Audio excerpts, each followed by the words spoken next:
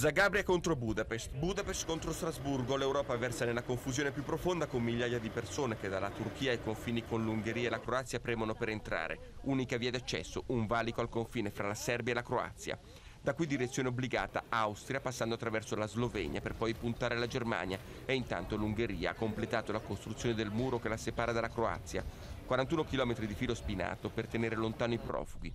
Una decisione questa che ha innescato polemiche e accuse reciproche fra i governi di Zagabria e Budapest.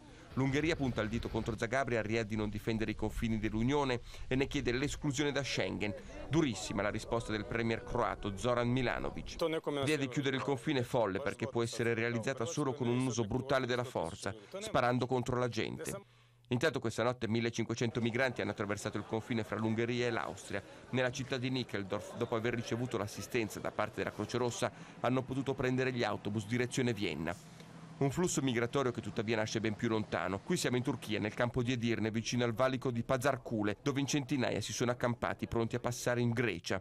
Aspettano che le autorità permettano loro di proseguire, si interrogano su quanto sta accadendo. Cosa sta facendo l'Europa? Ieri una bambina è morta in mare. L'Europa parla, dice che troverà una soluzione, ma non abbiamo visto nulla. Abbiamo dormito in strada, siamo bloccati dalla polizia, vogliamo solo attraversare la Grecia in pace. Lasciateci passare, non vogliamo fare male a nessuno.